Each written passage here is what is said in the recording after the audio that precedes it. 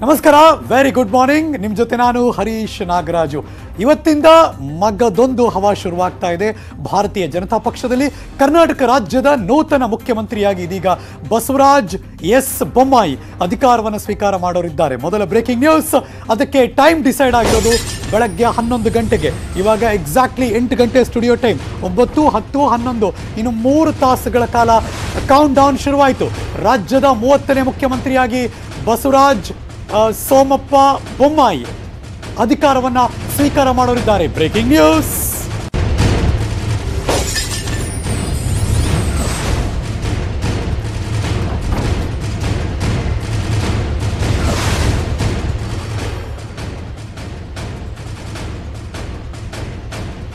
ನೀವು ನೋಡ್ತಿರುವಂತಹ ಬೆಳವಣಿಗೆ, ಯಾರೇ ಆದರೂ ಅಷ್ಟೇ ಮುಖ್ಯಮಂತ್ರಿ ಆಗುವಂತಹ ಸಂದರ್ಭದಲ್ಲಿ ಅಧಿಕಾರವನ್ನು ಸ್ವೀಕಾರ ಮಾಡೋದಕ್ಕೆ ಮುಂಚೆ ದೇವಸ್ಥಾನಗಳಿಗೆ ಮೊರೆ ಹೋಗ್ತಾರೆ. ಎಕ್ಸಾಕ್ಟ್ಲಿ ಇಲ್ಲೂ ಅದೇ ಆಗ್ತಾ ಇದೆ. ಪ್ರಮಾಣ ವಚನ ಸ್ವೀಕಾರ ಮಾಡೋದಕ್ಕೆ ಮುಂಚೆ ದೇವಸ್ಥಾನಗಳಿಗೆ ಭೇಟಿ ಕೊಡ್ತಿದ್ದಾರೆ. ವಿವಿಧ ದೇವಸ್ಥಾನಗಳಲ್ಲಿ ಬೊಮ್ಮಾಯಿ ಅವರು ಪೂಜೆಯನ್ನು ಸಲ್ಲಿಸೋರಿದ್ದಾರೆ. ನಿಯೋಜಿತ ಮುಖ್ಯಮಂತ್ರಿ ಬಸವರಾಜ್ ಎಸ್ ಬೊಮ್ಮಾಯಿ ಅವರಿಗೆ ಪಕ್ಷದ ಶಾಸಕರು, ಆಪ್ತರು ಸಾಥ್ ಕೊಡ್ತಿದ್ದಾರೆ. ಬೊಮ್ಮಾಯಿ ಅವರ ಪ್ರಮಾಣ ವಚನದಲ್ಲಿ ದಿಗ್ಗಜರ ಸಮಾಗಮ ಆಗ್ತಾ ಇದೆ. ಯಡಿಯೂರಪ್ಪನವರು, ಧರ್ಮೇಂದ್ರ ಪ್ರಧಾನ್ ಕೇಂದ್ರ ಸಚಿವರು ಬಿಕಾಸ್ ಅವರೇ ನಿನ್ನೆ ವೀಕ್ಷಕರಾಗಿ ಬಂದರು, ಇಲ್ಲೇ ಇದ್ದಾರೆ. ಜೊತೆಗೆ ಉಸ್ತುವಾರಿ ಅರುಣ್ ಸಿಂಗ್, ವಿಪಕ್ಷ ನಾಯಕರು ಸೇರಿದಂತೆ ಹಲವರು ಭಾಗಿಯಾಗುವ ಸಾಧ್ಯತೆ ಇದ್ದೇ ಇದೆ. ಬರ್ತಾರೆ ನನ್ನ ಪ್ರಕಾರ ಇವತ್ತು ಅವರೆಲ್ಲರೂ ಕೂಡ ಬಸವರಾಜ ಬೊಮ್ಮಾಯಿಯವರ ಪದಗ್ರಹಣ ಸಮಾರಂಭ ಬೆಳಗ್ಗೆ ಹನ್ನೊಂದು ಗಂಟೆಗೆ ರಾಜಭವನದಲ್ಲಿ ಇವತ್ತು ನಡೆಯುತ್ತೆ.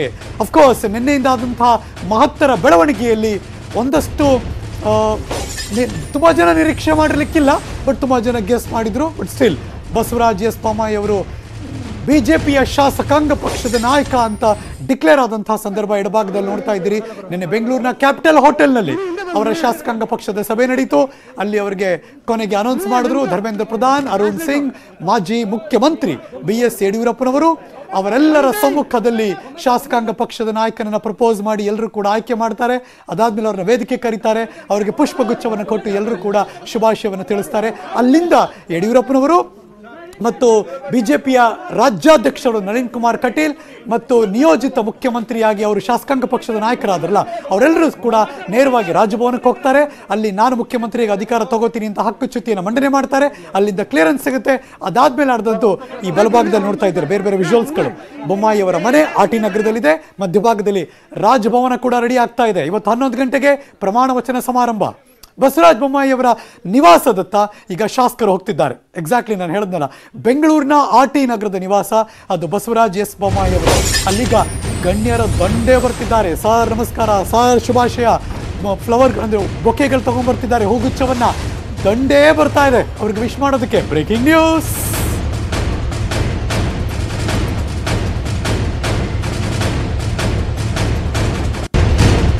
let's go Haveri ಭಾಗದ ಶಿಗ್ಗಾವಿ ಮತಕ್ಷೇತ್ರದ ಆ, ಶಾಸಕರು. ಇದೀಗ ಇವಾಗ ರಾಜ್ಯದ ನಿಯೋಜಿತ ಮುಖ್ಯಮಂತ್ರಿ ಇನ್ನೊಂದು ಮೂರು ತಾಸು ಕಳೆದ್ರೆ ಮೂವತ್ತನೇ ಮುಖ್ಯಮಂತ್ರಿಯಾಗಿ ಪ್ರಮಾಣ ಸ್ವೀಕಾರ ಮಾಡ್ತಾರೆ. ಇದೀಗ ಎಲ್ಲ ಇವರೆಲ್ಲರೂ ಈಗ ಮಾಜಿ ಸಚಿವರು. ಅವರೆಲ್ಲರೂ ಕೂಡ ಇದೀಗ ವಿಶ್ ಮಾಡೋದಕ್ಕೆ ಎಸ್ ಆರ್ ಬೊಮ್ಮಾಯಿ ಅವರ ನಿವಾಸಕ್ಕೆ ಒಬ್ಬೊಬ್ಬರಾಗಿ ಬರ್ತಿದ್ದಾರೆ. ಡಾಕ್ಟರ್ ಸುಧಾಕರ್ ಬರ್ತಿದ್ದಾರೆ.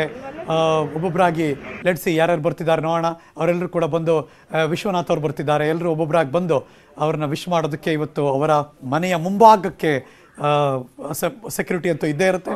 ಅದನ್ನು ತೋರಿಸಿ. ಸರ್ ನಾ ಮಾಸ್ಕ್ ಒಂದು ಸರ್ ತೆಗೆದು. ಸರ್ ನಾವೇ ಅಂತ ಬಂದು ವಿಶ್ ಮಾಡ್ತಿದ್ದಾರೆ ಒಬ್ಬೊಬ್ಬರಾಗಿ ಹೌದು, ಬಸವರಾಜ್ ಎಸ್. ಬೊಮ್ಮಾಯಿ ಅವರಿಗೆ ಪಟ್ಟಾಭಿಷೇಕ ಶುರುವಾಯಿತು. ಬೆಳಗ್ಗೆ ಹನ್ನೊಂದು ಗಂಟೆಗೆ ರಾಜಭವನದಲ್ಲಿ ಪದಗ್ರಹಣ ಸಮಾರಂಭ. ಕೌಂಟ್ ಡೌನ್ ಶುರುವಾಗ್ತಾ ಇದೆ. ಬ್ರೇಕಿಂಗ್ ನ್ಯೂಸ್ ಏನಪ್ಪ ಅಂದರೆ, ರಾಜಭವನದ ಹತ್ರ ಬಿಗಿ ಬಂದೋಬಸ್ತ್ ತೋರಿಸ್ಬಿಡ್ತೀನಿ. ನೇರವಾಗಿ ವಿಜುವಲ್ಸ್ಗೆ ಹೋಗ್ತಿದ್ದೀನಿ ನಾನು. ಐನೂರಕ್ಕೂ ಹೆಚ್ಚು ಪೊಲೀಸರನ್ನ ನಿಯೋಜನೆ ಮಾಡಲಾಗಿದೆ. ಬೆಂಗಳೂರಿನ ರಾಜಭವನದ ಮುಂಭಾಗದಲ್ಲಿ. ಬೊಮ್ಮಾಯಿಯವರ ಬೆಂಬಲಿಗರು ಕೂಡ ಆಗಮಿಸ್ತಾ ಇದ್ದಾರೆ. ನನ್ನ ಸಹೋದ್ಯೋಗಿಗಳೀಗ ಎರಡೂ ಭಾಗದಲ್ಲಿ, ಅಂದರೆ ಒಂದು ಕಡೆ ಅವರ ಮನೆ, ಇನ್ನೊಂದು ಕಡೆ ರಾಜಭವನ. ಎರಡೂ ಭಾಗದಲ್ಲಿ ತಯಾರಾಗಿ ನಿಂತಿದ್ದಾರೆ ಅಪ್ಡೇಟ್ಸ್ಗಳನ್ನು ಕೊಡೋದಕ್ಕೆ ನನ್ನ ಎಡ ಮತ್ತು ಬಲಭಾಗದಲ್ಲಿ ಲೆಟ್ಸ್ ಗೋ ಲೈವ್ ನನ್ನ ಸಹೋದ್ಯೋಗಿಗಳು political bureau chief Chidananda Patel live join ಆಗ್ತಿದ್ದಾರೆ. ಅದು ರಾಜಭವನದ ಮುಂಭಾಗದಲ್ಲಿ. ಗುಡ್ ಮಾರ್ನಿಂಗ್ ಪಟೇಲ್ ರೇ. ಮಗದೊಂದು ಕಡೆ ನನ್ನ ಸಹೋದ್ಯೋಗಿ ಪೊಲಿಟಿಕಲ್ ಬ್ಯೂರೋ ಇಂದ ಕೃಷ್ಣ ಬಸವರಾಜ ಬೊಮ್ಮಾಯಿ ಅವರ ನಿವಾಸದ ಮುಂಭಾಗದಲ್ಲಿ ಲೈವ್ ಜಾಯಿನ್ ಆಗ್ತಿದ್ದಾರೆ. ಪಟೇಲ್ ರೇ, ನಿಮಗೆ ಬರೋಕ್ ಮುಂಚೆ ಫಸ್ಟ್ ಈಗ ಅವರ ಮನೆ ಮುಂಭಾಗದಲ್ಲಿ ಒಂದಷ್ಟು ಬೆಳವಣಿಗೆ ನಡೀತಾ ಇದೆ. ಕೃಷ್ಣ ಹೋಗಿ ಬರ್ತೀನಿ ವೆರಿ ಗುಡ್ ಮಾರ್ನಿಂಗ್ ಕೃಷ್ಣ. ನಿನ್ನೆ ತನಕ ಸಮಾಧಾನ ಆಗಿ ಸಾವಧಾನವಾಗಿತ್ತು ಆರ್ ಟಿ ನಗರದವರ ನಿವಾಸ. ಅವರು ಮುಖ್ಯಮಂತ್ರಿ ಆಗ್ತಿದ್ದಾರೆ, ನಿಯೋಜಿತ ಮುಖ್ಯಮಂತ್ರಿ ಅಂತ ಅನೌನ್ಸ್ ಆಗ್ತಿದ್ದಾಗೆ ಇವತ್ತಿಂದ ಅದರ ಚಿತ್ರಣನೇ ಚೇಂಜ್ ಆಗ್ಬಿಡುತ್ತಲ್ಲ? ತೋರಿಸಿ ನಮಗೂ, ಏನೇನಾಗ್ತಿದೆ ಬೆಳಂಬೆಳಗ್ಗೆ ಅಂತ. ಖಂಡಿತವಾಗ್ಲೂ ಹರೀಶ್, ಈಗಾಗಲೇ ನೀವು ಹೇಳಬಹುದು ಈಗ ಹೇಳ್ತಾ ಇದ್ರು ಪ್ರಮುಖವಾಗಿ, ನಿನ್ನೆಯಿಂದನೂ ಕೂಡ ಒಂದು ರೀತಿ ಸ್ತಬ್ಧವಾಗಿತ್ತು ಬಸವರಾಜ ಬೊಮ್ಮೆಯವರ ಅವರ ಮನೆ. ಈಗ ಪ್ರಮುಖವಾಗಿ ಈಗ ಸಂಪೂರ್ಣವಾಗಿ ಒಂದು ರೀತಿ ಜನಜಂಗಳಿಂದ ಕೂಡಿರುವಂತದ್ದು. ಅದರಲ್ಲೂ ಪ್ರಮುಖವಾಗಿ ಈಗಾಗಲೇ ಏನು ನಿಯೋಜಿತ ಮುಖ್ಯಮಂತ್ರಿಯಾಗಿ ಮುಖ್ಯ, ನೂತನ ಮುಖ್ಯಮಂತ್ರಿಯಾಗಿ ಬಸವರಾಜ ಬೊಮ್ಮೆಯವರು ಈಗಾಗಲೇ ಸಾಕಷ್ಟು ಸಂಖ್ಯೆಯಲ್ಲಿ ಇಲ್ಲಿ ಪೊಲೀಸರನ್ನ ನಿಯೋಜನೆಯನ್ನು ಮಾಡಿರುವಂತದ್ದು. ಪ್ರಮುಖವಾಗಿ ಸುಮಾರು ಮುನ್ನೂರ ಐವತ್ತಕ್ಕೂ ಹೆಚ್ಚು ಜನ ಕಾನ್ಸ್ಟೇಬಲ್ ಆಗಿರ್ಬೋದು ಮತ್ತೆ ಹತ್ತು ಇನ್ಸ್ಪೆಕ್ಟರ್ಗಳಾಗಿರ್ಬೋದು, ಮತ್ತೆ ಇಪ್ಪತ್ತು ಸಬ್ ಇನ್ಸ್ಪೆಕ್ಟರ್ ಆಗಿರ್ಬೋದು ಮತ್ತೆ ಪ್ರಮುಖವಾಗಿ ಮೂರು ಜನ ಡಿಸಿಪಿ ಅವರ ನೇತೃತ್ವದಲ್ಲಿ ಪ್ರಮುಖವಾಗಿ ಸಾಕಷ್ಟು ಸಂಖ್ಯೆಯಲ್ಲಿ ಇಲ್ಲಿ ಪೊಲೀಸರನ್ನ ನಿಯೋಜನೆ ಮಾಡಿರುವಂತದ್ದು. ಜೊತೆಗೆ ಈಗಾಗಲೇ ನೀವು ನೋಡಬಹುದು ಹರೀಶ್, ಸಾಕಷ್ಟು ಸಂಖ್ಯೆಯಲ್ಲಿ ಈಗಾಗಲೇ ಕಾರ್ಯಕರ್ತರ ದಂಡೆ, ಬೆಂಬಲಿಗರ ದಂಡೆ ಇಲ್ಲಿಗೆ ಹರಿದು ಬರ್ತಾ ಇರುವಂತದ್ದು. ಪ್ರಮುಖವಾಗಿ ಅಧಿಕಾರಿಗಳಾಗಿರ್ಬೋದು ಮತ್ತೆ ಶಾಸಕರಾಗಿರ್ಬೋದು ಮತ್ತೆ ಕಾರ್ಯಕರ್ತರು ಮತ್ತೆ ಬೆಂಬಲಿಗರಾಗಿರ್ಬೋದು ಸಾಕಷ್ಟು ಸಂಖ್ಯೆಯಲ್ಲಿ ಈಗ ನೂತನ ಮುಖ್ಯಮಂತ್ರಿಗಳನ್ನ ಸ್ವಾಗತ ಮಾಡೋದಕ್ಕೆ ಬರ್ತಾ ಇರುವಂತದ್ದು. ಇದ್ರ ಜೊತೆಗೆ ಏನಂತಂದ್ರೆ ಈಗಾಗಲೇ ನೀವು ನೋಡಬಹುದು ಈ ಒಂದು ರಸ್ತೆ, ಅಂದ್ರೆ ಒಂದ್ ರೀತಿ ಅಕ್ಕಪಕ್ಕದಲ್ಲೂ ಕೂಡ ಮನೆಗಳಿದಾವೆ. ಮನೆಗಳಿದ್ರೂ ಕೂಡ ಒಂದ್ ರೀತಿ ರಸ್ತೆಯನ್ನ ಸಂಪೂರ್ಣವಾಗಿ ಒಂದ್ ರೀತಿ ಬಂದ್ ಮಾಡಿ ಭದ್ರತೆಯನ್ನ ನೀಡಿರುವಂತದ್ದು ಪೊಲೀಸರು. ಯಾಕಂದ್ರೆ ಸಹಜವಾಗಿ ಯಾವುದೇ ಮುಖ್ಯಮಂತ್ರಿ ಆದ್ರೂ ಕೂಡ ಒಂದು ಭದ್ರತೆ ಇರುತ್ತೆ. ಆದ್ರೆ ಈಗ ಏನು ಬಸವರಾಜ ಬೊಮ್ಮಾಯಿ ಅವರು ಯಾವಾಗ ಮುಖ್ಯಮಂತ್ರಿಯಾಗಿ ಆಯ್ಕೆ ಆದ್ರು, ಶಾಸಕಾಂಗ ಪಕ್ಷದ ನಾಯಕರಾಗಿ ನಾಯಕರಾದ್ರು, ಅದಾನ, ಅದಾದ ನಂತರವಾಗಿ ಈಗ ಹೆಚ್ಚಿನ ಸಂಖ್ಯೆಯಲ್ಲಿ ಭದ್ರತೆಯನ್ನು ನಿಯೋಜನೆ ಮಾಡಿರುವಂತದ್ದು ಯಾವುದೇ ಕಾರಣಕ್ಕೂ ಕೂಡ ಬೇರೆ ವ್ಯಕ್ತಿಗಳಿಗೆ ಅವಕಾಶವನ್ನು ಮಾಡಿಕೊಟ್ಟಿಲ್ಲ. ಬದಲಾಗಿ ಯಾರು ಶಾಸಕರು ಬರ್ತಾರೆ, ಯಾರು ಪ್ರಮುಖವಾಗಿ ಮುಖಂಡರುಗಳು ಬರ್ತಾರೆ, ಅವ್ರಿಗೆ ಮಾತ್ರ ಇಲ್ಲಿ ಅವಕಾಶವನ್ನ ಮಾಡಿಕೊಡುವಂತಹ ಒಂದು ಕೆಲಸವನ್ನ ಇಲ್ಲಿ ಇಲ್ಲಿ ಬಸವರಾಜ ಬೊಮ್ಮಾಯಿ ಅವರ ನಿವಾಸದಲ್ಲಿ ಈಗಾಗಲೇ ಮಾಡಿರುವಂತದ್ದು ಇನ್ನೇನು ಕೆಲವೇ ಕ್ಷಣಗಳಲ್ಲಿ ಹರೀಶ್ ಪ್ರಮುಖವಾಗಿ ಈಗಾಗಲೇ ಬಸವರಾಜ ಬೊಮ್ಮಾಯಿ ಅವರ ಮನೆಯಲ್ಲೂ ಕೂಡ ಒಂದು ವಿಶೇಷ ಪೂಜೆ ಕೂಡ ನೆರವೇರ್ತಾ ಇದೆ. ಈಗಾಗಲೇ ಎಲ್ಲೋ ಒಂದು ಕಡೆ ಕುಟುಂಬಸ್ಥರು ಕೂಡ ಅಂದ್ಕೊಂಡಿರಲಿಲ್ಲ. ಯಾಕಂದ್ರೆ ತಮ್ಮ ಕುಟುಂಬದ ಸದಸ್ಯರು ಬ- ಬೊಮ್ಮಾಯಿ ಅವರು ಪ್ರಮುಖವಾಗಿ ಮಂತ್ರಿ, ಮುಖ್ಯಮಂತ್ರಿ ಆಗ್ತಾರೆ ಅನ್ನುವಂಥದ್ದು. ಆದ್ರೆ ಏನು ಬಯಸದೆ ಬಂದ ಭಾಗ್ಯದಂತೆ ಈಗ ಮುಖ್ಯಮಂತ್ರಿ ಆಗಿರುವಂತಹ ಕಾರಣಕ್ಕೋಸ್ಕರವಾಗಿ ಮನೆಯಲ್ಲೂ ಕೂಡ ವಿಶೇಷವಾದಂತಹ ಒಂದು ಪೂಜೆಯನ್ನು ಕೂಡ ಸಲಿಕೆಯನ್ನು ಮಾಡ್ತಿರುವಂತದ್ದು ಅದ್ರ ಜೊತೆಗೆ ಇನ್ನೇನು ಕೆಲವೇ ಕ್ಷಣಗಳಲ್ಲಿ ವಿವಿಧ ದೇವಸ್ಥಾನಗಳಿಗೂ ಕೂಡ ಬಸವರಾಜ ಬೊಮ್ಮಾಯಿ ಅವರು ತೆರಳಿ ಅಲ್ಲಿ ಪೂಜೆಯನ್ನು ಕೂಡ ಸಲ್ಲಿಸಿದ್ದಾರೆ. ಮೊದಲಿಗೆ ಬಾಲಬುರಿ ಅತಿಥಿ ಗೃಹ ಬಳಿ ಇರತಕ್ಕಂತಹ ಆಂಜನೇಯ ಸ್ವಾಮಿ ದೇವಸ್ಥಾನ ಆಗಿರ್ಬೋದು, ಮತ್ತೆ ಪ್ರಮುಖವಾಗಿ ಬೇರೆ ಬೇರೆ ದೇವಸ್ಥಾನ, ಏನು ಗಣಪತಿ ದೇವಸ್ಥಾನ ಆಗಿರ್ಬೋದು, ಹೀಗೆ ಪ್ರಮುಖವಾದಂತಹ ದೇವಸ್ಥಾನಗಳಿಗೆ ಭೇಟಿಯನ್ನು ಕೊಡ್ತಿರುವಂತ ಈಗ ನಾವು ನೋಡಬಹುದು ಹರೀಶ್ ನೋಡು, ಈಗ ತಾನೆ ಹೊಸ ಸಿಎಂ ಅವರು ಈಗ ತಾನೆ ಬರ್ತಾ ಇದ್ದಾರೆ ಅವ್ರು ಮಾತಾಡ್ತೀನಿ. ಸರ್ ಸಿಎಂ ಸರ್ ಕಾಣಿಸ್ತಾ ಇದೆ ಕಾಣಿಸ್ತಾ ಇದೆ. ಆ ವಿಷಲ್ ತೋರಿಸಿ ನಮಗೆ. ಬಸವರಾಜ ಬೊಮ್ಮಾಯಿ ಅವರು ಅವರ ಮುಖ್ಯಮಂತ್ರಿ ಆಗುವ ದಿವಸ ಇವತ್ತು ಮನೆಯಿಂದ ಹೊರಗೆ ಬಂದಿದ್ದಾರೆ. ಮಾಧ್ಯಮಗಳ ಜೊತೆ ಫಸ್ಟ್ ರಿಯಾಕ್ಷನ್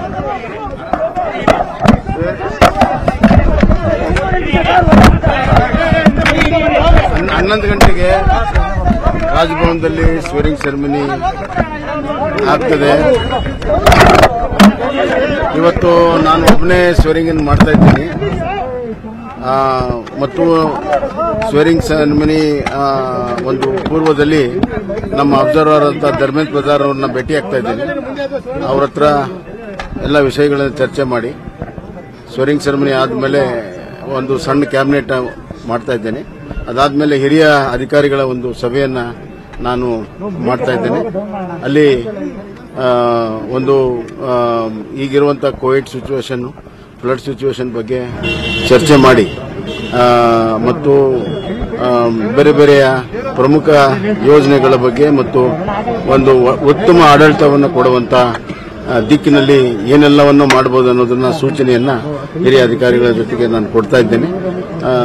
ಅದ ನಂತರ ಹಲವಾರು ಬೇರೆ ಕಾರ್ಯಕ್ರಮಗಳನ್ನು ಮುಗಿಸಿ ಪಾರ್ಟಿ ಆಫೀಸ್ಗೆ ಸಾಯಂಕಾಲ. ನಾನು ಇವತ್ತು ಎಲ್ಲವೂ ತೀರ್ಮಾನ ಮಾಡ್ತೇನೆ.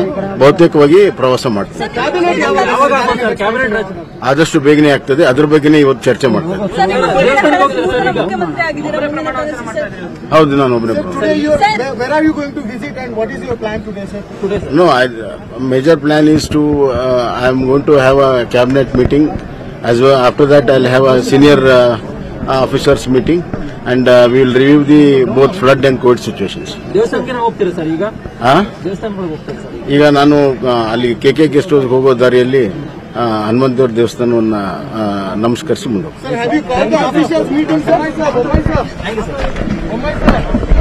ರಾಜ್ಯದ ನೂತನ ಮುಖ್ಯಮಂತ್ರಿ, ಈಗ ನಿಯೋಜಿತ ಮುಖ್ಯಮಂತ್ರಿ ಅಧಿಕಾರವನ್ನು ಸ್ವೀಕಾರ ಮಾಡ್ತೀನಿ ನಾನು ಬೆಳಗ್ಗೆ ಹನ್ನೊಂದು ಗಂಟೆಗೆ ಅನ್ನೋ ಮಾತನ್ನ ಸ್ವತಃ ನಿಯೋಜಿತ ಮುಖ್ಯಮಂತ್ರಿ ಬಸವರಾಜ್ ಎಸ್ ಬೊಮ್ಮಾಯಿ ಅವರು ಆರ್ ಟಿ ನಗರದವರ ಮನೆಯ ಮುಂಭಾಗದಲ್ಲೇ ಮಾಧ್ಯಮಗಳು ಒಂದು ಬ್ರೀಫ್ ಮಾಡಿದ್ರು. ಇಲ್ಲಿಂದ ಹೋಗ್ತಾ ಇದ್ದೀನಿ. ಆಂದಿವೆ, ಕೆ ಕೆ ಗೆಸ್ಟ್ ಹೌಸ್ ಹತ್ರ ಒಂದು ಆಂಜನೇಯ ಟೆಂಪಲ್ ಇದೆ. ಆ ಟೆಂಪಲ್ಗೆ ನಮಸ್ಕಾರ ಮಾಡ್ಕೊಂಡು ಆಂಜನೇಯನ ನಮಸ್ಕಾರ ಮಾಡಿ ಅಲ್ಲಿಂದ ಮುಂದಕ್ಕೆ ಹೋಗ್ತೀನಿ. ಇವತ್ತಿನ ಒಂದು ಸ್ಕೆಡ್ಯೂಲ್ ವಿವರಿಸಿದ್ರು ಅವರು. ಅದಾದ್ಮೇಲೆ ನೇರವಾಗಿ ಅಬ್ಸರ್ವರ್ ಯಾಕೆ ಬಂದಿದ್ದಾರೆ, ಅವ್ರನ್ನ ನಾನು ಭೇಟಿ ಮಾಡ್ತೀನಿ ಅಂತ ಕೂಡ ಹೇಳ್ತಿದ್ರು. ಬಲಭಾಗದಲ್ಲಿ ನನ್ನ ಕೊಲೆಗೆ ಇಮಿಡಿಯೇಟ್ ಸ್ವಿಚ್ ಮಾಡಿದ್ರು ಆಂಜನೇಯ ಸ್ವಾಮಿ ಅಂತಿದ್ದಾಗೇನೆ ಅದೇ ಕೆ ಕೆ ಗೆಸ್ಟ್ ಹೌಸ್ ಹತ್ರ ಇದೇ ಆಂಜನೇಯ ಸ್ವಾಮಿ ಟೆಂಪಲ್ ಇದೆ.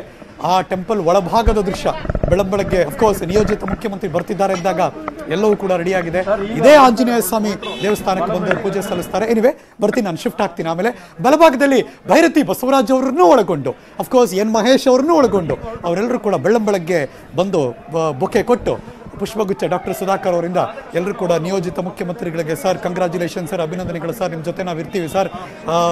ನಾವೆಲ್ಲರೂ ಕೂಡ ಕೆಲಸ ಮಾಡೋಣ ಸರ್. ಎಲ್ಲ ವಿಶ್ ಮಾಡಿ ಶುಭಾಶಯ ಕೋರಿರ್ತಾರೆ ಎಲ್ಲರೂ ಕೂಡ. ಸೆಕ್ಯೂರಿಟಿ ಎಲ್ಲ ಚೆಕ್ ಮಾಡೋರನ್ನ ಒಳಗೆ ಬಿಡ್ತಿರ್ತಾರೆ. ಇನ್ನು ಎಡಭಾಗದಲ್ಲಿ ಈಗ ಮುಖ್ಯಮ, ನಿಯೋಜಿತ ಮುಖ್ಯಮಂತ್ರಿಗಳು ಅವರ ಮನೆಯಿಂದ ಹೊರಟರು. ನೇರವಾಗಿ ಕೆ ಕೆ ಗೆಸ್ಟ್ ಹೌಸ್ ಕಡೆ. ಅಲ್ಲಿ ಅದಕ್ಕೂ ಮುಂಚೆ ಅವರು ಆಂಜನೇಯ ಸ್ವಾಮಿ ಟೆಂಪಲ್ಗೆ ಹೋಗ್ತಾರೆ. ಕೆಲವೇ ಕ್ಷಣದಲ್ಲಿ ನಾನ್ ಸ್ಟಾಪ್ ಲೈವ್ ನಿಮ್ಮ ನ್ಯೂಸ್ ಸೈಟಿಂಗ್ ಕನ್ನಡದಲ್ಲಿ ಇಲ್ಲಿಂದ ಇವತ್ತು ಮಧ್ಯಾಹ್ನ ಒಂದು ಒಂದೂವರೆ ತನಕ ನಾವು ಎಲ್ಲ ಲೈವ್ ಕೊಡ್ತಿದ್ದೀವಿ ನಾನ್ ಸ್ಟಾಪ್ ಎಲ್ಲೂ ನಾವೇನು ಬ್ರೇಕ್ ಮಾಡಲ್ಲ. ಆ ಎಲ್ಲ ನಾನ್ ಸ್ಟಾಪ್ ಅಪ್ಡೇಟೆಡ್ ವಿಜುವಲ್ಸ್ಗಳನ್ನು ತೋರಿಸ್ತೀವಿ ಎಕ್ಸ್ಪ್ಲನೇಷನ್ ಕೊಡ್ತೀವಿ. ರಾಜ್ಯದ ಹಾವೇರಿ ಜಿಲ್ಲೆ, ಶಿಗ್ಗಾವಿ ಮತಕ್ಷೇತ್ರದ ಶಾಸಕರಾಗಿ ಆಯ್ಕೆಯಾದಂತಹ ಮಾನ್ಯ ಬಸವರಾಜ್ ಎಸ್. ಬೊಮ್ಮಾಯಿ ಅವರು ಇವತ್ತು ಮೂವತ್ತನೇ ಮುಖ್ಯಮಂತ್ರಿಯಾಗಿ ಅಧಿಕಾರವನ್ನು ಸ್ವೀಕಾರ ಮಾಡ್ತಾ ಇದ್ದಾರೆ. ರಾಜಭವನದಲ್ಲಿ ಬೆಳಗ್ಗೆ ಹನ್ನೊಂದು ಗಂಟೆಗೆ. ರಾಜಭವನ ಅಂದ ತಕ್ಷಣ ನೆನಪಾಯಿತು, ನನ್ನ ಸದ್ಯೋಗಿ political bureau chief Chidananda Patel ಬೆಂಗಳೂರಿನ ರಾಜಭವನದ ಮುಂಭಾಗದಿಂದ ಅಲ್ಲಿನ ಅಪ್ಡೇಟ್ಸ್ ಕೊಡೋದಕ್ಕೆ ಲೈವ್ ಜಾಯಿನ್ ಆಗ್ತಿದ್ದಾರೆ. ವೆರಿ ಗುಡ್ ಮಾರ್ನಿಂಗ್ ಪಟೇಲ್ ರೇ. ರಾಜಭವನ ಸಕಲ ರೀತಿಯಲ್ಲೂ ಕೂಡ ಸಜ್ಜಾಗೇ ಇದ್ದಿರುತ್ತೆ. ಏನು ಎಕ್ಸೈಟ್ಮೆಂಟು ಏನು ಕುತೂಹಲ, ಏನು ನಿರೀಕ್ಷೆಗಳು ಇವತ್ತಿನ ಮುಖ್ಯಮಂತ್ರಿಯ ಪದಗ್ರಹಣ ಸಮಾರಂಭದಲ್ಲಿ?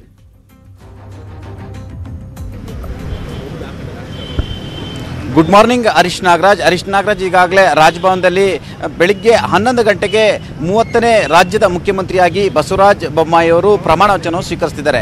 ರಾಜ್ಯಪಾಲರಾಗಿರ್ತಕ್ಕಂಥ ತಾವರ್ಚಂದ್ ಗೆಹ್ಲೋತ್ ಅವರು ಪ್ರಮಾಣ ವಚನವನ್ನು ಬೋಧಿಸಲಿದ್ದಾರೆ. ಈ ಎಲ್ಲ ಹಿನ್ನೆಲೆಯಲ್ಲಿ ರಾಜಭವನದಲ್ಲಿ ಎಲ್ಲ ರೀತಿಯ ಸಿದ್ಧತೆ ಮಾಡ್ತಿರುವಂಥದ್ದು ಪ್ರಮುಖವಾಗಿ ರಾಜಭವನ ಅಂತ ಹೇಳಿದರೆ ಇಲ್ಲಿ ಸೆಕ್ಯೂರಿಟಿ ಅಂದರೆ ಇಲ್ಲಿ ಯಾವುದೇ ರೀತಿ ಭದ್ರತೆಗೆ ಕೊರತೆ ಆಗಬಾರ್ದು ಮತ್ತು ಯಾವುದೇ ರೀತಿ ಭದ್ರತೆಗೆ ತೊಂದರೆ ಆಗಬಾರ್ದು ಎಂಬ ಹಿನ್ನೆಲೆಯಲ್ಲಿ ಪೊಲೀಸರು ಹೈ ಸೆಕ್ಯೂರಿಟಿಯನ್ನು ಮಾಡ್ತಿರುವಂಥದ್ದು. ರಾಜಭವನದ ರಸ್ತೆಯ ಏನು ಓಡ್ ಓಡಾಡ್ತಕ್ಕಂಥ ವಾಹನಗಳನ್ನು, ಅಂದರೆ ಖಾಸಗಿ ವಾಹನಗಳಿಗೆ ಯಾವುದೇ ರೀತಿ ಅವಕಾಶಗಳನ್ನು ಕೊಡ್ತಿಲ್ಲ. ಇಲ್ಲಿ ನೂರಾರು ಪೊಲೀಸರು ರಾಜಭವನ ಮುಂದೆ ಬಿಗಡ, ಏನು, ಇಲ್ಲಿ ಇರ್ತಕ್ಕಂಥದ್ದು. ತಾವು ಗಮನಿಸ್ಬೋದು, ಇಲ್ಲಿ ಪೊಲೀಸರು ಈಗಾಗಲೇ ಬಿಗಿ ಪ- ಬಂದೋಬಸ್ತನ್ನು ಮಾಡ್ತಿರುವಂಥದ್ದು. ತಾವು ನೋಡ್ತಿರ್ಬೋದು, ಇಲ್ಲಿ ರಾಜಭವನದಲ್ಲಿ ಈಗಾಗಲೇ ರಾಜಭವನದ ಒಳಗಡೆ ಏನು, ಬರ್ತಕ್ಕಂಥ ಯಾರು ಆಹ್ವಾನಿತ ಗಣ್ಯರಿದ್ದಾರೆ ವಿ ವಿ ಐ ಪಿ ಗಣ್ಯರಿದ್ದಾರೆ, ಅವರೆಲ್ಲರೂ ಕೂಡ ಚೇರ್ ವ್ಯವಸ್ಥೆ ಮಾಡ್ತಿರುವಂಥದ್ದು ಈಗ ಪೊಲೀಸರು ಕೂಡ ಇಲ್ಲಿ ಬಿಗಿ ಬಂದೋಬಸ್ತ್ ವ್ಯವಸ್ಥೆಯನ್ನು ಮಾಡ್ತಿರುವಂಥದ್ದು. ಸ್ಥಳೀಯ ಠಾಣೆಯ ಪೊಲೀಸರು ಇದರ ಉಸ್ತುವಾರಿಯನ್ನು ವಹಿಸಿಕೊಂಡಿರುವಂಥದ್ದು. ಪ್ರಮುಖವಾಗಿ ಇವತ್ತು ಹನ್ನೊಂದು ಗಂಟೆಗೆ ಪ್ರಮಾಣ ವಚನ ಸ್ವೀಕರಿಸ್ತಿದ್ದಾರೆ. ಈ ಪ್ರಮಾಣ ವಚನ ಸ್ವೀಕಾರ ಕಾರ್ಯಕ್ರಮಕ್ಕೆ ಮಾಜಿ ಮುಖ್ಯಮಂತ್ರಿ ಬಿ ಎಸ್ ಯಡಿಯೂರಪ್ಪನವರು ಸೇರಿದಂತೆ ಬಿಜೆಪಿಯ ವೀಕ್ಷಕರಾಗಿರ್, ಆಗಿರ್ತಕ್ಕಂಥ ಕೇಂದ್ರ ಸಚಿವರು ಆಗಿರ್ತಕ್ಕಂಥ ಧರ್ಮೇಂದ್ರ ಪ್ರಧಾನ್, ಕಿಶನ್ ರೆಡ್ಡಿ ಡಿ ಕೆ ಅರುಣ ಸೇರಿದಂತೆ ಅನೇಕ ಘಟಾನುಘಟಿ ನಾಯಕರುಗಳು ಕೂಡ ಇಲ್ಲಿ ಈ ಒಂದು ಪ್ರಮಾಣ ವಚನದಲ್ಲಿ ಸಾಕ್ಷಿಯಾಗಲಿದ್ದಾರೆ ಮತ್ತು ಬಸವರಾಜ ಬೊಮ್ಮಾಯಿ ಅವರ ಕುಟುಂಬ ಕೂಡ ಇದಕ್ಕೆ ಇವತ್ತು ಪ್ರಮಾಣ ವಚನಕ್ಕೆ ಸಾಕ್ಷಿಯಾಗಲಿದ್ದಾರೆ. ಪ್ರಮುಖವಾಗಿ ಹನ್ನೊಂದು ಗಂಟೆಗೆ ಪ್ರಮಾಣ ವಚನ ಸ್ವೀಕರಿಸಿದ ಬಳಿಕ ನೂತನ ಮುಖ್ಯಮಂತ್ರಿ ಆಗಿರ್ತಕ್ಕಂಥ ಬಸವರಾಜ ಬೊಮ್ಮಾಯಿ ಅವರು ವಿಧಾನಸೌಧಕ್ಕೆ ಹೋಗ್ತಿದ್ದಾರೆ. ಅಲ್ಲಿ ಒಂದು ಸಂಪ್ರದಾಯದಂತೆ ಕ್ಯಾಬಿನೆಟ್ ಸಭೆ ನಡೆಸಲಿದ್ದಾರೆ ನಂತರ ಹಿರಿಯ ಅಧಿಕಾರಿಗಳೊಂದಿಗೆ ರಾಜ್ಯದ ಪ್ರಸಕ್ತ ವಿದ್ಯಮಾನಗಳಂದ್ರೆ ಪ್ರಮುಖವಾಗಿ ಕೋವಿಡ್ ಕೋವಿಡ್ ಮತ್ತು ಈಗಾಗಲೇ ನೆರೆ ಬಹಳಷ್ಟು ಬಂದಿರುವಂಥದ್ದು ಮಳೆಯ ಪ್ರಮಾಣ ಹೆಚ್ಚಿರುವಂಥದ್ದು. ಹಾಗಾಗಿ ಈ ಸಂಬಂಧಪಟ್ಟಾಗೆ ಮುಖ್ಯಮಂತ್ರಿ ಆಗಿದ್ದ ಆಗಿರುವಂಥ ಬಸವರಾಜ ಬೊಮ್ಮಾಯಿಯವರು ಅಧಿಕಾರಿಗಳೊಂದಿಗೆ ಚರ್ಚೆ ಮಾಡಿ ಅಲ್ಲೇ ಹಲವಾರು ಸೂಚನೆಗಳನ್ನು ಕೊಡಲಿದ್ದಾರೆ. ಆ ಮುಖಾಂತರ ಇವತ್ತು ಅಧಿಕೃತವಾಗಿ ಹನ್ನೊಂದು ಗಂಟೆಯ ನಂತರ ಅವರು ಕೂಡ ತಮ್ಮ ಕಾರ್ಯಚಟುವಟಿಕೆ ಕೂಡ ಚಾಲನೆಯನ್ನು ಕೂಡ ಕೊಡಲಿದ್ದಾರೆ. ಒಟ್ಟಾರೆ ಹನ್ನೊಂದು ಗಂಟೆಗೆ ಪ್ರಮಾಣ ಸ್ವೀಕಾರ ಮಾಡಲಿದ್ದಾರೆ. ಬಹುತೇಕವಾಗಿ ದಿಢೀರ್ನೆ ಫಿಕ್ಸ್ ಆಗಿರುವ ಕಾರ್ಯಕ್ರಮ ಆಗಿದ್ರಿಂದ ಅವರ ಸಿಗ್ಗಾಮಿ ಮತಕ್ಷೇತ್ರದಿಂದಲೂ ಕೂಡ ಬಹಳಷ್ಟು ಜನರು ಬರ್ತಾ ಇದ್ದಾರೆ. ಆದರೆ ಎಲ್ಲರೂ ಕೂಡ ಪಾಸ್ ವ್ಯವಸ್ಥೆ ಮಾಡಲಿಕ್ಕೆ ಸಾಧ್ಯ ಇಲ್ಲ ಅಂತೇಳಿ ರಾಜ್ಯಭವನ ಸೂಚನೆ ಕೊಟ್ಟಿರುವಂಥದ್ದು. ಯಾಕಂತ ಹೇಳಿದ್ರೆ ಈಗಲೂ ಕೂಡ ಕೋವಿಡ್ ರೂಲ್ಸ್ ಇರೋದ್ರಿಂದ ರಾಜ್ಯಭವನದಲ್ಲಿ ಕೂಡ ಒಂದಷ್ಟು ಬಿಗಿ ಭದ್ರತೆಯನ್ನು ಕೂಡ ಏರ್ಪಡಿಸಲಾಗಿದೆ Harish Nagaraj. Thank you so much Patel ರೇ. ಈ ಕ್ಷಣದ ಮಾಹಿತಿಯನ್ನು ಅಪ್ಡೇಟ್ ಮಾಡಿದ್ದಕ್ಕೆ ಇನ್ನಷ್ಟು ಆ ಎಲ್ಲದರ ಬಗ್ಗೆ ಮಾಹಿತಿ ದೃಶ್ಯಗಳು ಎಲ್ಲವನ್ನು ಕೂಡ ನಿಮ್ಮ ಮುಂದೆ ಇಡ್ತೀವಿ. ಅದಕ್ಕೂ ಮುಂಚೆ ಒಂದು ಚಿಕ್ಕ ಬ್ರೇಕ್ ತಗೊಂಡ್ಬರ್ತೀನಿ ಎಲ್ಲೂ ಹೋಗ್ಬೇಕಾಯ್ತಾ ಇರಿ. ಯಡಿಯೂರಪ್ಪ ರಾಜೀನಾಮೆ ನೀವು ನೋಡ್ತಿರುವಂತಹ ದೃಶ್ಯ ಪೂಜೆ ಶುರುವಾಯಿತು. ಇದು ಹನುಮಂತನ ದೇವಸ್ಥಾನದಲ್ಲಿದ್ದಾರೆ. ನಿಯೋಜಿತ ಮುಖ್ಯಮಂತ್ರಿ ಬಸವರಾಜ್ ಎಸ್. ಬೊಮ್ಮಾಯಿ ಅವರು. ಅಲ್ಲಿಂದ ನೇರವಾಗಿ ಅವರು ಬೇರೆ ಬೇರೆ ಕಾರ್ಯಚಟುವಟಿಕೆಗಳ ಇವತ್ತು ಹೋಗ್ತಾರೆ. ಒಳಭಾಗದ ದೃಶ್ಯ, ಎರಡೂ ದೃಶ್ಯ ತೋರಿಸ್ತಾ ಇದೆ ಪೂಜೆ ಪುರಸ್ಕಾರ ನಡೀತಾ ಇದೆ. ಪ್ರಮಾಣ ವಚನದಲ್ಲಿ ಪಾಲ್ಗೊಳ್ಳೋದಕ್ಕೆ ಮುಂಚೆ ನಿಯೋಜಿತ ಮುಖ್ಯಮಂತ್ರಿ ಬಸವರಾಜ್ ಎಸ್. ಬೊಮ್ಮಾಯಿ ಅವರು ಹನುಮಂತನ ದೇವಸ್ಥಾನಕ್ಕೆ ಹೋಗಿ ಪೂಜೆ ಸಲ್ಲಿಸ್ತಾ ಇದ್ದಾರೆ. ಅವರೊಟ್ಟಿಗೆ ಬೈರತಿ ಬಸವರಾಜ್ ಅವರು ಇನ್ನಿತರ ಶಾಸಕರು ಕೂಡ ಸಾಥ್ ಕೊಟ್ಟಿದ್ದಾರೆ. ಆ ದೃಶ್ಯ ನಿಮ್ಮ ನ್ಯೂಸ್ ಏಟೀನ್ ಕನ್ನಡದ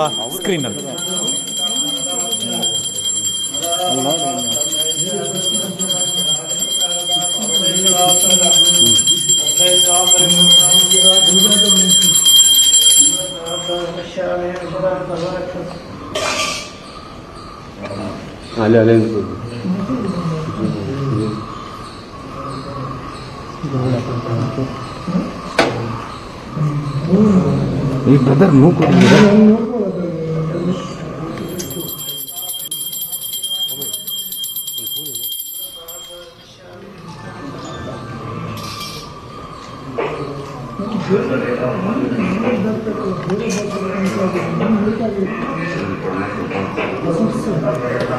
ಇವ್ರಿಗೆ ಹೇಳ್ತಾ ಇದ್ದೀನಿ ಇವ್ರಿಗೆ ಕೇಳ್ತಾನೆ ಹೊಸ ಬೇಕಣ್ಣ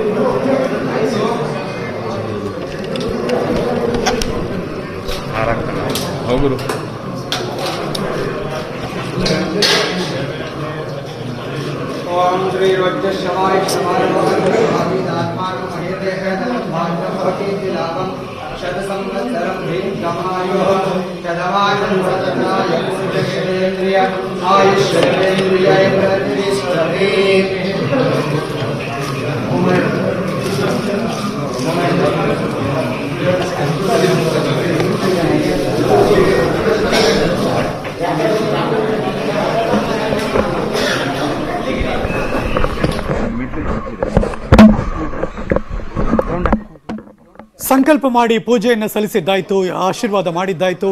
ಅದಾದ ನಂತರದಲ್ಲಿ ಇದೀಗ ಪ್ರದಕ್ಷಿಣೆ ಹಾಕ್ತಾ ಇದ್ದಾರೆ ಅಂತ ಅನಿಸ್ತಾ ಇದೆ. ಅಲ್ಲಿ ಐನೋರೆಲ್ಲ ಯಾರಿದ್ದಾರೆ ಅವರೆಲ್ಲರೂ ಕೂಡ ಅವ್ರಿಗೊಂದು ಏನೋ ಒಲ್ಲಿ ಹಾಕಿ ಹೂವು ಕೊಟ್ಟು, ತಾಂಬೂಲ ಕೊಟ್ಟು ಎಲ್ಲ ಮಾಡಿ ಅವರಿಗೆ ಶುಭಾಶಯ ತಿಳಿಸಿದ್ರು. ಅದಾದ ನಂತರದಲ್ಲಿ ನಮಸ್ಕಾರ ಮಾಡಿದ್ರು ಬಗ್ಗೆ, ತಲೆಬಾಗಿ ನಮಸ್ಕಾರ ಮಾಡಿದ್ರು ದೇವರಿಗೆ, ಆಂಜನೇಯ ಸ್ವಾಮಿಗೆ ನೂತನ ನಿಯೋಜಿತ ಮುಖ್ಯಮಂತ್ರಿಗಳು. ಅದಾದಮೇಲೆ ಇದೀಗ ಆ ದೇವಸ್ಥಾನದ ಪ್ರದಕ್ಷಿಣೆ ಹಾಕ್ತಿದ್ದಾರೆ ಅಂತ ಅನಿಸ್ತದೆ. ಬಿಕಾಸ್ ಹಂಗೆ ಹೋದಾಗ ಅದು ಪ್ರದಕ್ಷಿಣೆ ಭಾಗ ಅದು, ನನ್ನ ಪ್ರಕಾರ. ಹಾಗಾಗಿ ಆ ಕಡೆಯಿಂದ ಎಕ್ಸಿಟ್ ಆಗ್ತಾರೆ ಯಾವಾಗಲೂ. ಅದೇ ಥರ ನಡೀತಾ ಇದೆ ಅಂತ ಅನಿಸುತ್ತೆ. ಇದೆಲ್ಲೂ ಕೂಡ ಬೆಂಗಳೂರಿನ ವಸಂತ ನಗರದಲ್ಲಿರುವಂತಹ ಬಹಳ ಪ್ರಸಿದ್ಧವಾದಂಥ ಆಂಜನೇಯ ಸ್ವಾಮಿ ಟೆಂಪಲ್ ಹಂಗೆ ನೋಡಕ್ಕೆ ಹೋದರೆ ಮೇನ್ ರೋಡಿಂದ ಒಂದಷ್ಟು ದೂರ ಒಳಗೆ ನಡ್ಕೊಂಡು ಹೋಗಬೇಕು. ಅಲ್ಲಿರುವಂಥ ದೇವಸ್ಥಾನ ಇದು. ಬಹಳ ಚಿಕ್ಕದಾದರೂ ಬಹಳ ಶಕ್ತಿಯುತ ದೇವಸ್ಥಾನ ಅಂತ ಕರೆಸಲ್ಪಡುವಂಥ ಆಂಜನೇಯ ಸ್ವಾಮಿ ಟೆಂಪಲ್ ಇದು ವಸಂತ ನಗರದ ಒಳ ಎಂಟ್ರಿ ಕೊಡೋಕ್ಕೆ ಮುಂಚೆ ಈ ಕಡೆಯಿಂದ ಹೋಗ್ಬೇಕಾದ್ರೆ ಎಡಗಡೆಗಿದೆ ಅದಷ್ಟೇ. ಸೊ ಅಲ್ಲಿ ಪೂಜೆಯನ್ನು ಸಲ್ಲಿಸಿ ಮತ್ತೆ ಈಗ ಹೊರಗೆ ಬರ್ತಿದ್ದಾರೆ ನಿಯೋಜಿತ ಮುಖ್ಯಮಂತ್ರಿ ಬಸವರಾಜ್ ಎಸ್. ಬೊಮ್ಮಾಯಿ ಅವರು. ಅಲ್ಲಿಂದ ಅವರ ಇವತ್ತಿನ ಮುಂಜಾನೆಯ ಎಲ್ಲ ಕಾರ್ಯ ಚಟುವಟಿಕೆಗಳು ಕೂಡ ಶುರುವಾಗುತ್ತೆ. ಈಗ ಅವರು ಧರ್ಮೇಂದ್ರ ಪ್ರಧಾನ್ ಅವರಾದಿಯಾಗಿ ವೀಕ್ಷಕರನ್ನ ಭೇಟಿ ಮಾಡೋರಿದ್ದಾರೆ. ಅದು ಅವರ ಸ್ವೇರಿಂಗ್ ಸೆರೆಮನಿ ಅಂದ್ರೆ ಪ್ರಮಾಣ ವಚನ ಸ್ವೀಕಾರ ಮಾಡುವುದಕ್ಕೆ ಮುಂಚೆ ಒಂದಷ್ಟು ಅಲ್ಲೆಲ್ಲ ಹೋಗಿ ಭೇಟಿ ಮಾಡಿ ಬರ್ತಾರೆ. ಕೆಲವೇ ಹೊತ್ತಿನ ಮುಂಚೆ ಅವರು ದೇವಸ್ಥಾನದ ಒಳಭಾಗಕ್ಕೆ ಬಂದಾಗ ದೃಶ್ಯಾವಳಿಗಳನ್ನು ತೋರಿಸ್ತಾ ಇದ್ದೀವಿ. ಅಲ್ಲೋಗಿ ಪ್ರಾರ್ಥನೆ ಮಾಡಿಕೊಂಡ್ರು. ಅಲ್ಲೂ ಕೂಡ ಐನೂರು ಸಂಕಲ್ಪ ಮಾಡಿದ್ರು, ಪೂಜೆ ಮಾಡಿದ್ರು. ಎಲ್ಲ ಇಷ್ಟಾರ್ಥಗಳು ಸಿದ್ಧಿಸಲಿ ಅಂತ ಆಶೀರ್ವಾದ ಮಾಡಿದ್ರು. ಅದಾದ್ಮೇಲೆ ಅವರಿಗೆ ಏನು ಆಶೀರ್ವಾದ ಪೂರ್ವಕವಾಗಿ ಒಲ್ಲಿ ಮತ್ತು ಹೂವಿನ ಹಾರವನ್ನು ಹಾಕಿದ್ರು. ಆಮೇಲೆ ತಾಂಬೂಲ, ಹಣ್ಣು, ಹಂಪಲು ಎಲ್ಲವನ್ನು ಕೂಡ ಕೊಟ್ಟರು ನಂತರದಲ್ಲಿ ಒಂದು ಪ್ರದಕ್ಷಿಣೆ ಹಾಕಿ ಅಲ್ಲಿಂದ ಎಕ್ಸಿಟ್ ಆಗ್ತಾ ಇದ್ದಾರೆ. ನಿಯೋಜಿತ ಮುಖ್ಯಮಂತ್ರಿ ಬಸವರಾಜ್ ಎಸ್ ಬೊಮ್ಮಾಯಿ ಅವರು ಇವತ್ತು ಹನ್ನೊಂದು ಗಂಟೆಗೆ ರಾಜಭವನದಲ್ಲಿ ಅವರ ಪ್ರಮಾಣಾಚರಣೆ ಸಮಾರಂಭ ಇದ್ದೇ ಇರುತ್ತೆ. ಅಲ್ಲಿ ಈಗಾಗಲೇ ಅಲ್ಲೂ ಕೂಡ ತಯಾರಿಗಳನ್ನು ಮಾಡಿಕೊಂಡಿದ್ದಾರೆ. ಅಲ್ಲೂ ದಿಗ್ಗಜ ನಾಯಕರ ಸಮ್ಮುಖದಲ್ಲಿ ಬಸವರಾಜ ಎಸ್ ಬೊಮ್ಮಾಯಿ ಅವರು ರಾಜ್ಯದ ಮೂವತ್ತನೇ ಮುಖ್ಯಮಂತ್ರಿಯಾಗಿ, ಅಂದ್ರೆ ಮುಖ್ಯಮಂತ್ರಿಗಳು ಎರಡು ಮೂರು ಸರಿ ಆಗಿದ್ದಾರೆ, ಮೂರು ಸರಿ ಆಗಿದ್ದಾರೆ ಹತ್ತು ದಿನದ ಮುಖ್ಯಮಂತ್ರಿ ಆಗಿದ್ದಾರೆ. ಎಲ್ಲ ಲೆಕ್ಕ ತಗೊಂಡ್ರೆ ಮೂವತ್ತನೇ ಮುಖ್ಯಮಂತ್ರಿಯಾಗಿ ಬಸವರಾಜ್ ಎಸ್ ಬೊಮ್ಮಾಯಿ ಅವರು ಅಧಿಕಾರವನ್ನು ಸ್ವೀಕಾರ ಮಾಡೋರಿದ್ದಾರೆ. ಅದಕ್ಕೆ ಸಮಯ ನಿಗದಿಯಾಗಿರೋದು ಹನ್ನೊಂದು ಗಂಟೆಗೆ. ಹಾವೇರಿಯ ಶಿಗ್ಗಾವಿ ಕ್ಷೇತ್ರದ ಶಾಸಕರು ಇದೀಗ ಪ್ರಮಾಣವಚನ ಸ್ವೀಕಾರ ಮಾಡಿ ರಾಜ್ಯದ ಅಧಿಕಾರದ ಚುಕ್ಕಾಣಿಯನ್ನು ಹಿಡಿತಿದ್ದಾರೆ. ಹಂಗ್ ನೋಡಕ್ ಹೋದ್ರೆ ರಾಜ್ಯದಲ್ಲಿ ಎರಡನೇ ಬಾರಿಗೆ, ಅಂದ್ರೆ ತಂದೆ ಮುಖ್ಯಮಂತ್ರಿ ಆಗಿದ್ರು, ಇದೀಗ ಮಗ ಮುಖ್ಯಮಂತ್ರಿ ಆಗ್ತಿದ್ದಾರೆ ಎನ್ನುವ ಹೆಸರು ಎರಡನೇ ಬಾರಿಗೆ ಬಸವರಾಜ್ ಎಸ್ ಬೊಮ್ಮಾಯಿ ಅವರಿಗೆ ಸಲ್ತಾ ಇದೆ. ಆ ಆ ಒಂದು ಪ್ರಶಂಸೆ. ಯಾಕೆಂದ್ರೆ ಮೊದಲಿಗೆ ಅಫ್ಕೋರ್ಸ್ ನಮ್ಮೆಲ್ಲರಿಗೂ ಗೊತ್ತಿರೋ ಹಾಗೆ ಹೆಚ್ ಡಿ ದೇವೇಗೌಡರು, ಅವರ ಪುತ್ರ ಹೆಚ್ ಡಿ ಕುಮಾರಸ್ವಾಮಿ ಅವರು ಮುಖ್ಯಮಂತ್ರಿ ಆಗಿದ್ರು ಅಫ್ಕೋರ್ಸ್ ಅವರು ಎರಡು ಸಾರಿ ಮುಖ್ಯಮಂತ್ರಿ ಆಗಿದ್ದಾರೆ ಅದಾದ ನಂತರದಲ್ಲಿ ಎಸ್ ಆರ್ ಬೊಮ್ಮಾಯಿ ಅವರು ಸೋಮಪ್ಪ ರಾಯಪ್ಪ ಬೊಮ್ಮಾಯಿ ಅವರ ಪುತ್ರ, ಬಸವರಾಜ್ ಎಸ್. ಬೊಮ್ಮಾಯಿ ಅವರು ರಾಜ್ಯದ ನೂತನ ಮುಖ್ಯಮಂತ್ರಿಯಾಗಿ ಹನ್ನೊಂದು ಗಂಟೆಗೆ ಪ್ರಮಾಣ ವಚನ ಸ್ವೀಕಾರ ಮಾಡ್ತಿದ್ದಾರೆ. ಎಲ್ಲ ಡೆವಲಪ್ಮೆಂಟ್ಸ್, ಎಲ್ಲ ದೃಶ್ಯಾವಳಿಗಳನ್ನು ನಾವಂತೂ ನಾನ್ ಸ್ಟಾಪ್ ನಿಮ್ಮ ಮುಂದೆ ಇಡ್ತೀವಿ. ಒಂದು ಚಿಕ್ಕ ಬ್ರೇಕ್ ತೊಗೊಂಬರ್ತೀನಿ ಎಲ್ಲೂ ಹೋಗದೆ ಕಾಯ್ತಾ ಇರಿ.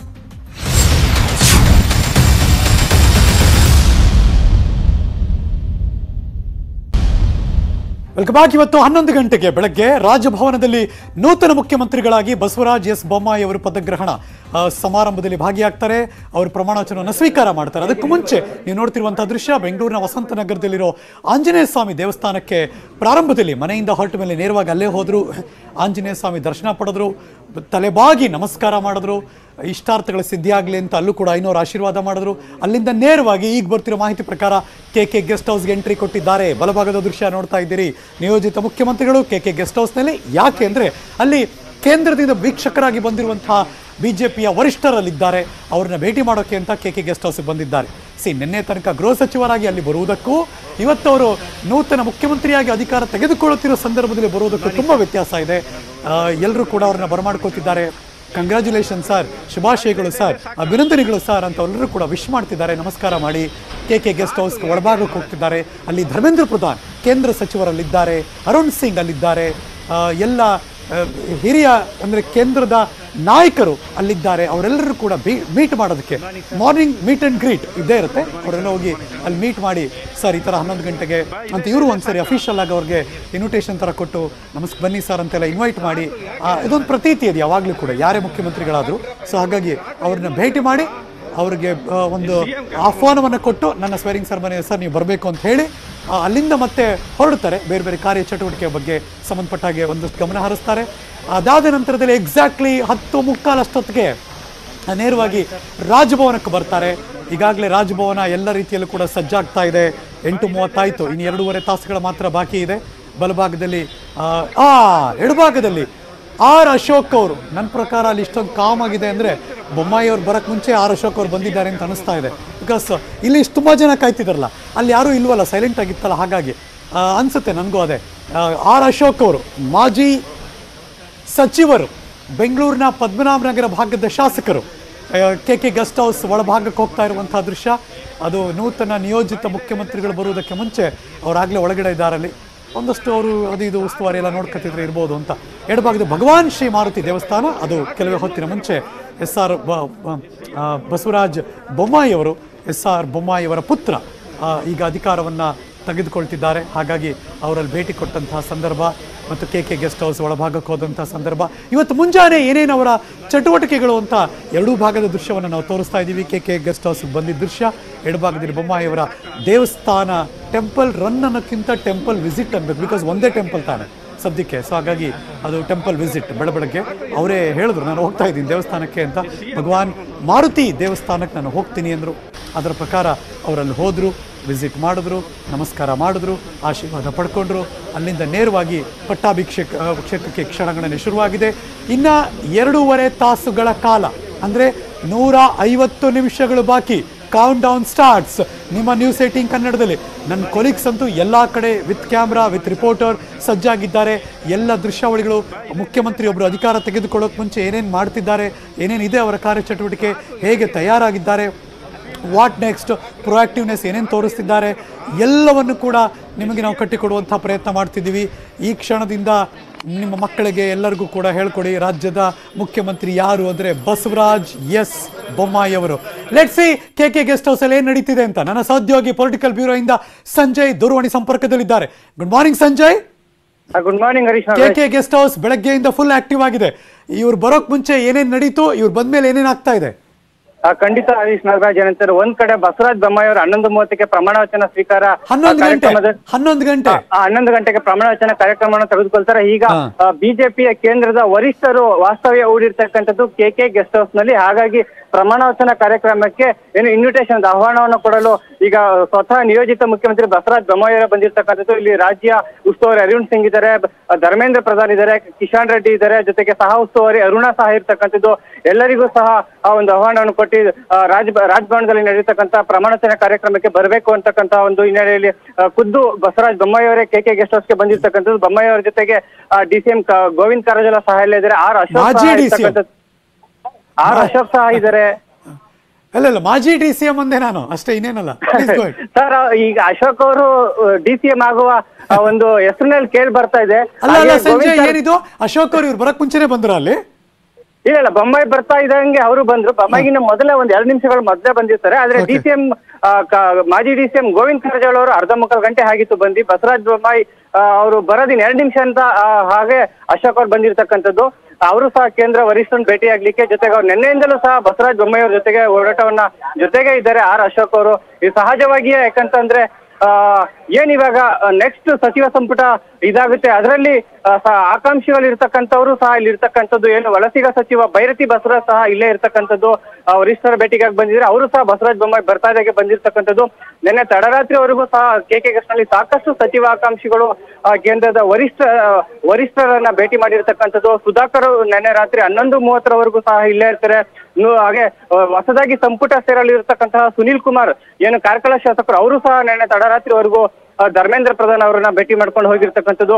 ಈಗ ಇಲ್ಲೇ ವಾಸ್ತವ್ಯ ಹೂಡಿರ್ತಕ್ಕಂತಹ ಬಿಜೆಪಿಯ ವರಿಷ್ಠರನ್ನ ಭೇಟಿ ಮಾಡ್ಲಿಕ್ಕೆ ಖುದ್ದು ನಿಯೋಜಿತ ಮುಖ್ಯಮಂತ್ರಿ ಬಸವರಾಜ ಬೊಮ್ಮಾಯಿ ಅವರು ಬಂದು ಏನೋ ಇನ್ನೇನೋ ಒಂದು ಹತ್ತು ನಿಮಿಷಗಳ ಕಾಲ ಅವ್ರನ್ನ ಭೇಟಿ ಮಾಡಿ ಮಾತುಕತೆಯನ್ನ ಮಾಡಿ ಕುಶಲೋಪಕರಣ ವಿಚಾರಿಸಿ ನೇರವಾಗಿ ಅವರು ತಮ್ಮ ನಿವಾಸಕ್ಕೆ ತೆರಳುತ್ತಾರೆ.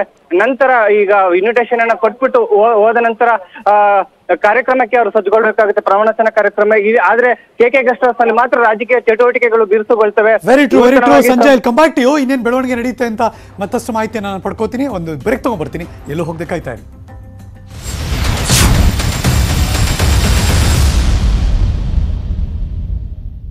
ಈಗಾಗಲೇ ಕೆ ಕೆ ಗೆಸ್ಟ್ ಹೌಸ್ನಲ್ಲಿ ಇದ್ದಾರೆ ಮೀನ್ ವಾಯ್ಲ್ ಈಗ ಒಂದು ಇನ್ಫಾರ್ಮೇಶನ್ ನಿಮಗೆ ಕೊಟ್ಬಿಡ್ತೀವಿ. ಬಸವರಾಜ ಬೊಮ್ಮಾಯಿ ಅವ್ರನ್ನೇ ಯಾಕೆ ಮುಖ್ಯಮಂತ್ರಿಯಾಗಿ ಆಯ್ಕೆ ಆರಿಸಿದ್ರು ಅನ್ನೋ ಒಂದು ಪ್ರಶ್ನೆ. ಮಾಜಿ ಮುಖ್ಯಮಂತ್ರಿ ಬಿ ಎಸ್ ಯಡಿಯೂರಪ್ಪನವರ ಕೃಪೆಯೋ ಅಥವಾ ಹೈಕಮಾಂಡ್ ವರವೋ? ಕೊನೆ ಕ್ಷಣದವರೆಗೂ ಬಹಳ ನಿರೀಕ್ಷೆ ಇತ್ತು ಸಸ್ಪೆನ್ಸ್ ಇತ್ತು. ಯಾರಾಗ್ತಾರೆ ಮುಖ್ಯಮಂತ್ರಿಗಳು ಅನ್ನುವ ಕುತೂಹಲ ಇತ್ತು. ಆ ಎಲ್ಲದಕ್ಕೂ ತೆರೆ ಎಳೆದದ್ದು ಬಸವರಾಜ ಬೊಮ್ಮಾಯಿ ಅವರ ಆಯ್ಕೆಯ ಮೂಲಕ. ಬ್ರೇಕಿಂಗ್ ನ್ಯೂಸ್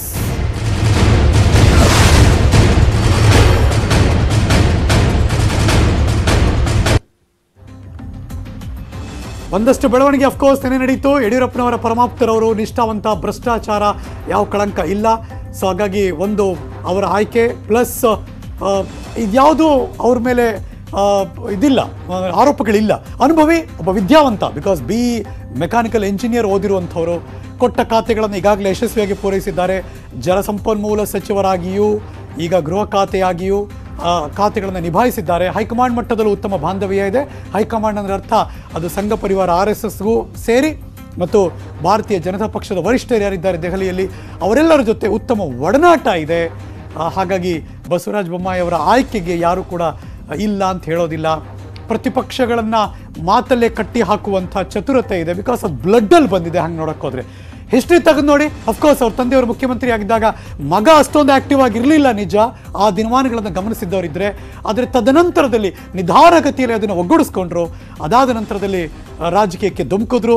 ಅದು ಪರಿಷತ್ತಿನ ಸದಸ್ಯರಾಗಿ ಎಂಟ್ರಿ ಕೊಟ್ಟ ಮೇಲೆ ತದನಂತರದಲ್ಲಿ ಹಾವೇರಿಯ ಏನು, ಹಾನಗಲ್ನಲ್ಲಿ ಅವರು ಎಲೆಕ್ಷನ್ಗೆ ಕಂಟೆಸ್ಟ್ ಮಾಡಿ ಗೆದ್ದಾದ ನಂತರದಲ್ಲಿ ಬಿ ಜೆ ಪಿಗೆ ಸೇರ್ಪಡೆಯಾದ ನಂತರದಲ್ಲಿ ಅಫ್ಕೋರ್ಸ್ ಜನತಾ ಪರಿವಾರದಿಂದ ಬಿ ಜೆ ಪಿಗೆ ಬಂದರು.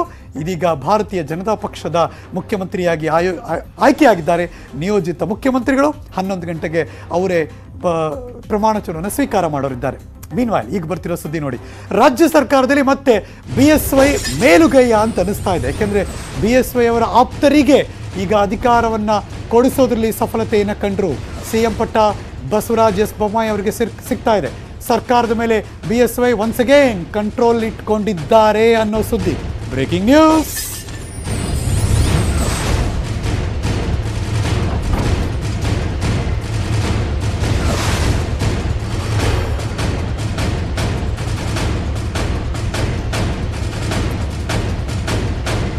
ಒಂದು, ಉತ್ತರ ಕರ್ನಾಟಕ ಭಾಗದವರಿಗೆ ಮುಖ್ಯಮಂತ್ರಿ ಸ್ಥಾನ ಸಿಗಬೇಕು ಅನ್ನೋದೇನಿತ್ತು? Of course Basavaraj S Bommai ಅವರು ಉತ್ತರ ಕರ್ನಾಟಕ ಭಾಗಕ್ಕೆ ಸೇರಿದವರು. ಅವ್ರು ಹುಟ್ಟಿದ್ದೆಲ್ಲ ಹುಬ್ಬಳ್ಳಿ ಧಾರವಾಡ ಭಾಗನೇ, ಓದಿದ್ದಲ್ಲ. ಅದಾದ ನಂತರದಲ್ಲಿ ಅಫ್ಕೋರ್ಸ್ ಅವ್ರು ಕಂಟೆಸ್ಟ್ ಮಾಡಿರೋದು ಹಾವೇರಿಯ ಹಾನಗಲ್ ಕ್ಷೇತ್ರ. ಒಂದು ಆ ಭಾಗಕ್ಕೂ ಆಯಿತು. ಇನ್ನೊಂದು ಸಮುದಾಯಕ್ಕೂ ಆಯಿತು. ಮತ್ತೊಂದು ಯಡಿಯೂರಪ್ಪನವರು ರಾಜೀನಾಮೆ ಕೊಟ್ಟು ಕೆಳಗಿಳಿದ ನಂತರದಲ್ಲಿ ಅಧಿಕಾರ ಅವರ ಆಪ್ತರಿಗೆ ಸಿಕ್ತು ಅಂತ. ಆಡಳಿತದಲ್ಲಿ ನಿಯಂತ್ರಣ ಸಾಧಿಸುವ ತಂತ್ರಗಾರಿಕೆ, ಸಮನ್ವಯತೆ ನೆಪದಲ್ಲಿ ಸರ್ಕಾರದ ಮೇಲೆ ಹಿಡಿತ, ಆಪ್ತ ಬೊಮ್ಮಾಯಿಯವರನ್ನ ಮುಖ್ಯಮಂತ್ರಿಗಳನ್ನಾಗಿ ಮಾಡಿದ್ದು ವಿರೋಧಿಗಳಿಗೆ ಟಕ್ಕರ್ ಕೊಟ್ಟಿದ್ದು. ಹೈಕಮಾಂಡ್ಗೂ ಕೂಡ ಸಂದೇಶ ರವಾನಿಸಿರೋದು.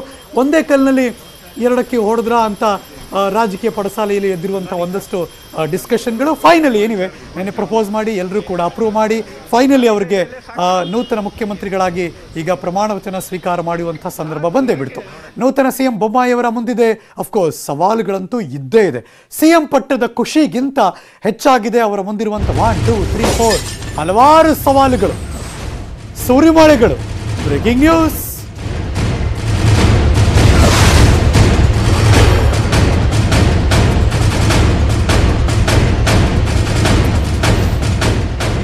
ಸಮಾಜಮುಖಿಯಾಗಿ ಸವಾಲುಗಳು. ಈಗಿರುವಂತಹ ಪರಿಸ್ಥಿತಿನ ನಿಭಾಯಿಸುವ ಸವಾಲುಗಳು. ಅವರ ಜೊತೆ ಹಿಂದೆ ಮುಂದೆ ಪಕ್ಷದೊಳಗಿರುವವರ ಸವಾಲುಗಳು. ಪಕ್ಷದೊರಗಡೆ ಪ್ರತಿಪಕ್ಷದಲ್ಲಿ ಕೂತಿರೋರ ಸವಾಲುಗಳು. ಹೀಗೆ ಸವಾಲುಗಳ ಮೇಲೆ ಸವಾಲು. ಬಸವರಾಜ್ ಎಸ್ ಬೊಮ್ಮಾಯಿ ಅವರಿಗೆ. ಅದನ್ನು ನಿಭಾಯಿಸಬಲ್ಲಂಥ ಚಾಕಚಕ್ಯತೆ ಅವ್ರಿಗಿದೆ ಅಂತ ಅನ್ಕ, ಅನ್ಕೋತೀವಿ ನಾವು ಕೂಡ ಬಿಕಾಸ್ ಅವರ ಅನುಭವ ಅದನ್ನು ಕಲಿಸಿರುತ್ತೆ. ಕೊರೋನಾ ಮೂರನೇ ಅಲೆಯ ಪ್ರವಾಹ, ಅದರ ದೊಡ್ಡ ಸವಾಲನ್ನು ಅವರು ಎದುರಿಸಲೇಬೇಕು. ಬಿ ಎಸ್ ವೈ ವಿರೋಧಿ ಬಣವನ್ನು ಒಂದುಗೂಡಿಸಬೇಕು. ಪಕ್ಷದಲ್ಲಿರುವ ಒಡಕುಗಳನ್ನೆಲ್ಲ ದೂರ ಮಾಡಬೇಕು. ಹೊಸ ನಾಯಕತ್ವ, ಹೊಸ ಸರ್ಕಾರದ ಹಿತ ಕಾಯಬೇಕು ಬಾ ಇಲ್ಲೇ ಇಲ್ಲೇ ಇಲ್ಲೇ ಸಾಕ, ಯಾಕೆ? ಕಾರಣ ಕೂಡ ಇದೆ. ಆಮೇಲೆ ಬರ್ತೀನಿ. ಸಾರಿ ಕರೆಕ್ಷನ್ ಶಿಗ್ಗಾವಿ ಅವರ ಮತಕ್ಷೇತ್ರ. ಬಟ್ ಹಾನಗಲ್ ಅಂತ ಯಾಕೆ ಹೇಳ್ಬಿಟ್ಟೆ ನಾನು ಅಂದರೆ, ನಾನು ಈ ಕ್ಷಣಕ್ಕೆ ಸಿ ಎಂ ಉದಾಸಿ ಅವ್ರನ್ನ ನೆನಪಿಸ್ಕೊಳ್ತಾ ಇದ್ದೀನಿ. ಬಿಕಾಸ್ ಅದು ಬಸವರಾಜ್ ಎಸ್ ಬೊಮ್ಮಾಯಿ ಅವರ ಗಾಡ್ ಫಾದರ್ ಅವರು ಏನೋ ಉದಾಸಿ ಅವರು, ಅವರೇ ಹೇಳಿಕೊಳ್ಳುವ ಹಾಗೆ. ಅದೊಂದು ಕಥೆ ಇದೆ. ಸಾಧ್ಯ ಆದರೆ ಮುಂದಿನ ಹಂತದಲ್ಲಿ ನಿಮ್ಗೆ ಟೈಮ್ ಸಿಗ್ತಾ ನಿಮ್ಗೆ ಹೇಳ್ತೀನಿ ನಾನು. ಯಾಕೆ ಹಾನ್ಗಲ್ ಅಂತ ನಂಗೆ ಮಿಸ್ ಆಗಿ ಹೇಳಿದ್ದ ಬಟ್ ಆದರೂ ಸ್ಟಿಲ್ ಯಾಕೆ ಅಂದರೆ ಅದಕ್ಕೊಂದು ಇನ್ಫ್ಲೂಯೆನ್ಸ್ ಇದೆ. ಹಾನಗಲ್ ಕ್ಷೇತ್ರಕ್ಕೂ ಬಸವರಾಜ್ ಎಸ್ ಬೊಮ್ಮಾಯಿಯವರೆಗೂ ಅವರ ಅವರ ಎಲೆಕ್ಟೆಡ್ ಕ್ಷೇತ್ರ ಅದು ಶಿಗ್ಗಾವಿ ಅದು ಹಾವೇರಿ ಜಿಲ್ಲೆ. ಆದರೆ ಹಾನಗಲ್ ಒಂದು ಅದ್ಭುತವಾದಂಥ ಸ್ಟೋರಿ ಇದೆ. ನಾನು ಯಾವಾಗಲೂ ಟೈಮ್ ಸಿಕ್ಕರೆ ಹೇಳ್ತೀನಿ ನಾನು. ಹಾಗಾಗಿ ನಂಗೆ ಬಂದ್ಬಿಟ್ಟಿರ್ತದು ಬಟ್ ಏನು ಕರೆಕ್ಷನ್ ಮಾಡ್ಕೊಂಡಿದ್ದೀನಿ. ಬಸವರಾಜ್ ಎಸ್ ಬೊಮ್ಮಾಯಿ ಅವರ ಕ್ಷೇತ್ರ, ಅದು ಶಿಗ್ಗಾವಿ ಕ್ಷೇತ್ರ. ಅಲ್ಲಿಂದಲೇ ಅವರು ಎಲೆಕ್ಟ್ ಆಗಿ ಬಂದಿರೋದು. ಹಾನಗಲ್ ಕ್ಷೇತ್ರ ಅದು ಉದಾಸಿ ಅವ್ರದ್ದು ಬಟ್ ಇವರಿಗೆ ಅವಿನಾಭಾವ ಸಂಬಂಧ ಅದು. ಇವತ್ತೇನಾದರೂ ಅವರು ಭಾರತೀಯ ಜನತಾ ಪಕ್ಷದಲ್ಲಿ ಇದ್ದರೆ ಅದು ಹಾನಗಲ್ ಕ್ಷೇತ್ರ ಅದು ದಿವಂಗತ ಆ, ಭಾಗದ ರೆಪ್ರೆಸೆಂಟ್ ಮಾಡಿದ್ರಲ್ಲ ಸಿ ಎಂ ಉದಾಸಿ ಅವರಿಂದಾನೆ. ಎಸ್ ಅರುಣ್ ಸಿಂಗ್ ಅವರೇನೋ ಮಾತಾಡ್ತಿದ್ದಾರೆ. ಲೆಟ್ಸ್ ಗೋ ಲೈವ್ Bailey आज शपथ लेंगे How many DCM posts sir? How much DCM posts will sir? Three and four.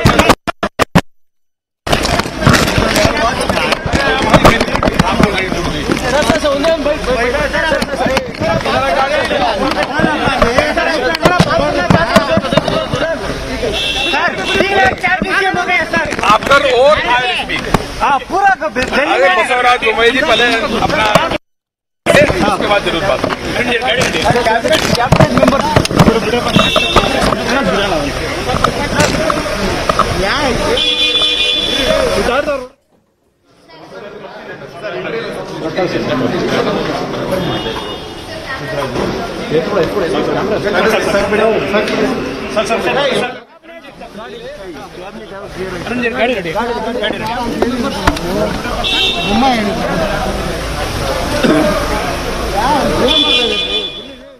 Okay, ಎಲ್ಲ ಮಾಧ್ಯಮದವರು ಮುಗಿಬಿದ್ರು. ಅರುಣ್ ಸಿಂಗ್ ಅವ್ರಿಗೆ. ಸರ್, ಮಾತಾಡಿ ಸರ್, ಬೆಳ್ಳಂ ಬೆಳಗ್ಗೆ ಅಂತ. ಬಟ್ ಸ್ಟಿಲ್ ಆಮೇಲೆ ಮಾತಾಡ್ತೀನಿ ಅಂತಾನೋ? ಒಂದು ಸ್ವಲ್ಪ ಸಮಯ ಅವರು ಕೇಳ್ತಿದ್ದಾರೆ. ಕೆ ಕೆ ಗೆಸ್ಟ್ ಹೌಸ್ನ ಒಳಭಾಗದ ದೃಶ್ಯ. ನಿಯೋಜಿತ ಮುಖ್ಯಮಂತ್ರಿ ಬಸವರಾಜ್ ಎಸ್. ಬೊಮ್ಮಾಯಿ ಅವರು ಅಲ್ಲಿ ಒಳಗೆ ಹೋಗಿ ಅಫಿಷಿಯಲ್ ಆಗಿ ಅವರ ಪದಗ್ರಹಣ ಸಮಾರಂಭಕ್ಕೆ ಕೇಂದ್ರದ ನಾಯಕರು ಯಾರು ಬಂದಿದ್ದಾರೆ, ವೀಕ್ಷಕರಾಗಿ ಅವರಿಗೆ ಆಹ್ವಾನವನ್ನು ಕೊಡೋದಕ್ಕೆ ಅಂತಲೇ ನಿಯೋಜಿತ ಮುಖ್ಯಮಂತ್ರಿಗಳಲ್ಲಿ ಹೋದಂಥ ದೃಶ್ಯಾವಳಿಗಳನ್ನು ತೋರಿಸ್ತಾ ಇದ್ದೀವಿ. ಎಡಭಾಗದಲ್ಲಿ ಟೆಂಪಲ್ ರನ್, ಅವರು ಏನೋ ಅಲ್ಲಿ ಹೋದಂಥ ಸಂದರ್ಭ. ನಾನು ಆಗಲೇ ಹೇಳಿದ್ದಲ್ಲ ಒಂಚೂರು ಟೈಮ್ ಇದೆ ನನಗೆ ಹೇಳ್ಬಿಡ್ತೀನಿ ನಾನು. ಯಾಕೆ ಹಾನಗಲ್ ಅಂತ ಮೆನ್ಷನ್ ಮಾಡಿದೆ ಅಂತ. ಬಸವರಾಜ್ ಬೊಮ್ಮಾಯಿ ಅವರು ಒಂದು ಒಂದು ಕಡೆ ಹೇಳ್ಕೊತಾರೆ, ನನಗೆ ಗಾಡ್ ಫಾದರ್ ಅದು ಸಿ ಎಂ ಉದಾಸಿ ಅವರು ಅಂತ. ಈಗಾಗಲೇ ಇತ್ತೀಚೆಗಷ್ಟೇ ನಾವು ಅವ್ರನ್ನ ಕಳ್ಕೊಂಡ್ಬಿಟ್ವಿ ಅನಾರೋಗ್ಯದಿಂದ ಅವ್ರು ಸಾವನ್ನಪ್ಪಿದ್ದಾರೆ. ಆ ಸಂದರ್ಭದಲ್ಲಿ ನೆನಪಿಸ್ಕೊಳ್ತಾರೆ ಅವರು ಬಸವರಾಜ್ ಎಸ್ ಬೊಮ್ಮಾಯಿ ಅವರು. ಎರಡು ಸಾವಿರದ ಎಂಟನೇ ಇಸ್ವಿಲಿ ಬಿ ಜೆ ಪಿ ಬರೋಕ್ಕೆ ಮುಂಚೆ ಅವರು ಜನತಾ ಪರಿವಾರದಲ್ಲಿದ್ದವರು. ಬಿ ಜೆ ಪಿಗೆ ಬರಬೇಕು ಅನ್ನೋ ಮನಸ್ಸೇನಿರಲಿಲ್ಲ ಅವ್ರಿಗೆ, ನಿಜ. ಆದರೆ ಹಾನಗಲ್ ಕ್ಷೇತ್ರದಲ್ಲಿ ಸಿ ಎಂ ಉದಾಸಿ ಅವರು ಇದ್ದರಲ್ಲ ಅವರ ಹುಡ್ದ ಬುದ್ಧಿನ ಇವ್ರನ್ನ ಕರೆಸ್ಕೋತಾರೆ. ಬನ್ನಿ ಬಸವರಾಜ ಬೊಮ್ಮಾಯಿ ಅವರೇ ಅಂತ ಇವ್ರಲ್ಲಿ ಹೋಗ್ತಾರೆ. ಇಡೀ ದಿವಸ ಅವ್ರ ಜೊತೆ ಇರಿಸ್ಕೋತಾರೆ. ಇರಿಸ್ಕೊಂಡ ನಂತರದಲ್ಲಿ ಮಾರನೇ ದಿನ ಬೆಳಗ್ಗೆ ಬಸವರಾಜ ಬೊಮ್ಮಾಯಿ ಅವ್ರನ್ನ ಸಿ ಎಂ ಉದಾಸಿ ಅವರು ಬೆಂಗಳೂರಿಗೆ ಕರ್ಕೊಂಬರ್ತಾರೆ. ಯಾಕೆ ಅಂದರೆ ಬೆಂಗಳೂರಿನಲ್ಲಿ ಆಗ ಬಿ ಜೆ ಪಿಯ ವರಿಷ್ಠರಾದಂಥ ರಾಜನಾಥ್ ಸಿಂಗ್ ಅವರು ಇರ್ತಾರೆ, ಅವ್ರ ಜೊತೆಗೆ ಯಡಿಯೂರಪ್ಪನವ್ರು ಇರ್ತಾರೆ. ಅವರಿಬ್ಬರನ್ನು ಕೂಡ ಕರ್ಕೊಂಬಂದು ಇವ್ರನ್ನ ಭೇಟಿ ಮಾಡಿಸ್ತಾರೆ. ಭೇಟಿ ಮಾಡಿಸಿದ ನಂತರದಲ್ಲಿ ಆಗಲೂ ಮನಸ್ಸಿಲ್ಲ ಬಸವರಾಜ ಬೊಮ್ಮಾಯಿ ಅವರಿಗೆ. ಬಿ ಜೆ ಪಿಗೆ ಬರಬೇಕು ಬರಬೇಕು ಅಂತ ಬಿಕಾಸ್ ಅವ್ರು ಜನತಾ ಪರಿವಾರದಲ್ಲೇ ಇದ್ದವರು. ಆದರೆ ಬದಲಾದ ಸಂದರ್ಭದಲ್ಲಿ ಅವರು ಕೊನೆಗೆ ಬಿ ಜೆ ಪಿಗೆ ಜಾಯಿನ್ ಆಗ್ತಾರೆ. ಅದಾದಮೇಲೆ ಜಲಸಂಪನ್ಮೂಲ ಸಚಿವರಾಗ್ತಾರೆ. ಅದಾದ ನಂತರದಲ್ಲಿ ಅಫ್ಕೋರ್ಸ್ ಅವರು ಹಾನಗಲ್ ಕ್ಷೇತ್ರ ಹಾನಗಲ್ ಕ್ಷೇತ್ರವನ್ನು ನೆನಪಿಸ್ಕೋತಾರೆ ಯಾವಾಗಲೂ ಕೂಡ. ತದನಂತರದ ಅವರು ಗೆದ್ದದ್ದು ಹಾವೇರಿಯ ಶಿಗ್ಗಾವಿ ಕ್ಷೇತ್ರದಿಂದ.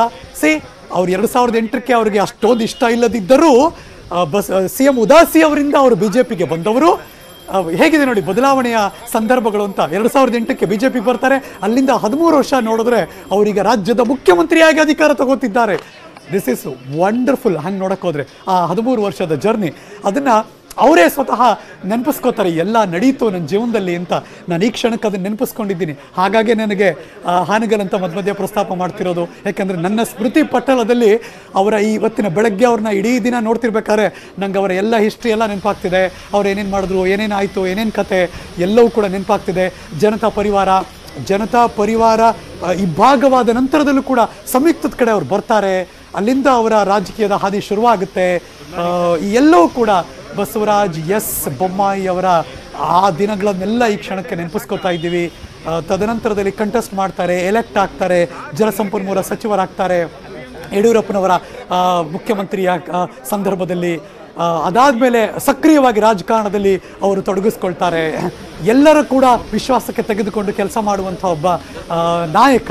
ಹಾಗಾಗಿನೇ ಅದು ಸಂಘ ಪರಿವಾರದವರ ವಿಶ್ವಾಸ, ಹೈಕಮಾಂಡ್ನ ವಿಶ್ವಾಸ, ರಾಜ್ಯದ ನಾಯಕರ ವಿಶ್ವಾಸ, ಅವರ ಸಮುದಾಯದ ವಿಶ್ವಾಸ ಎಲ್ಲವೂ ಕೂಡ ಅವರ ಜೊತೆ ಯಾವಾಗಲೂ ಇತ್ತು. ದೇವರ ಆಶೀರ್ವಾದ ಇದೆ. ಕೃಪಾ ಕಟಾಕ್ಷ ಇತ್ತು. ಹಾಗಾಗಿ ನಿನ್ನೆ ನಡೆದಂಥ ಒಂದಷ್ಟು ಬೆಳವಣಿಗೆಗಳಲ್ಲಿ ಅವ್ರನ್ನ ಶಾಸಕಾಂಗ ಪಕ್ಷದ ನಾಯಕರನ್ನಾಗಿ ಮಾಡ್ತಾರೆ. ಇವತ್ತು ಹನ್ನೊಂದು ಗಂಟೆಗೆ ಅವರನ್ನ ನೂತನ ಮುಖ್ಯಮಂತ್ರಿಗಳಾಗಿ ಅವ್ರಿಗೆ ಅಧಿಕಾರವನ್ನು ಸ್ವೀಕರಿಸುವ ಸಂದರ್ಭ ಸಮಯ ಆಗ್ತಾ ಇದೆ. ಎಂಟು ಐವತ್ತು. ಇನ್ನು ಉಳಿದಿರೋದೆ ಹತ್ತತ್ರ ಎರಡು ಗಂಟೆ ಹತ್ತು ನಿಮಿಷದ ಕೌಂಟ್ ಡೌನ್ ಬೆಂಗಳೂರಿನ ರಾಜಭವನದಲ್ಲಿ ಈಗಾಗಲೇ ತಯಾರಿ ನಡೆಸ್ಕೊಂಡಿದ್ದಾರೆ. ನೂತನ ಮುಖ್ಯಮಂತ್ರಿಯಾಗಿ ಬಸವರಾಜ ಎಸ್ ಬೊಮ್ಮಾಯಿ ಅವರು ಅಧಿಕಾರವನ್ನು ಸ್ವೀಕಾರ ಮಾಡ್ತಾರೆ. ಎಲ್ಲ ಲೈವ್ ದೃಶ್ಯವನ್ನು ನಾವಂತೂ ನಾನ್ ಸ್ಟಾಪ್ ನಿಮ್ಮ ಮುಂದೆ ಇಡೋರಿದ್ದೀವಿ. ನೀವಂತೂ ಎಲ್ಲೂ ಹೋಗ್ಲೇಬೇಡಿ. ನ್ಯೂಸ್ ಏಟಿಂಗ್ ಕನ್ನಡ ಟ್ಯೂನ್ ಮಾಡಿದ್ರೆ ಸಾಕು. ನಾವಂತೂ ಎಲ್ಲ ಮಾಹಿತಿ, ಎಲ್ಲ ದೃಶ್ಯವನ್ನು ನಿಮ್ಮ ಮುಂದೆ ಇಡುವಂಥ ಕೆಲಸ ಮಾಡ್ತಿದ್ದೀವಿ. ಹೋಪ್ ನೀವೆಲ್ಲೂ ಹೋಗಲ್ಲ ಅಂತ. ನಾವಂತೂ ಅವಾಗ ಅವಾಗ ಚಿಕ್ಕ ಬ್ರೇಕ್ ತೊಗೊಂಬರ್ತೀವಿ ಅಷ್ಟೇ. ನೀವೆಲ್ಲೂ ಹೋಗಬೇಡಿ. ಈಗಲೂ ಒಂದು ಚಿಕ್ಕ ಬ್ರೇಕ್ ತೊಗೊಂಬರ್ತೀನಿ. ಸ್ಟೇ ಟ್ಯೂನ್ ನ್ಯೂಸ್ ಏಟಿಂಗ್ ಕನ್ನಡದಲ್ಲಿ non stop live take a break